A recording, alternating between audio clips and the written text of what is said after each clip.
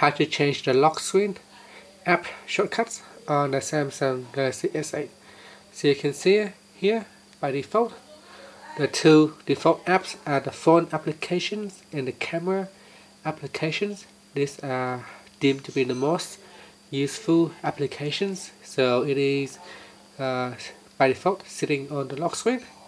If you have a different requirements you can change it so here we will go in and I'll show you. First tap on the home key to go back to your home screen. Swipe down at the top and tap on the settings icon. Then from here go down and tap on lock screen and security. Go down and tap on app shortcuts.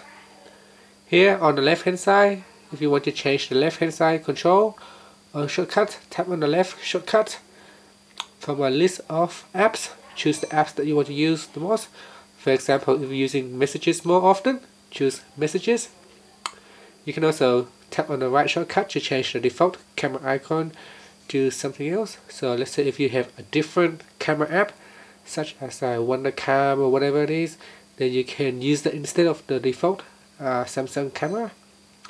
And that's it. Make your selections and then uh, tap on the home key to finish. You can press on the power key to test it out and see the changes. And that's it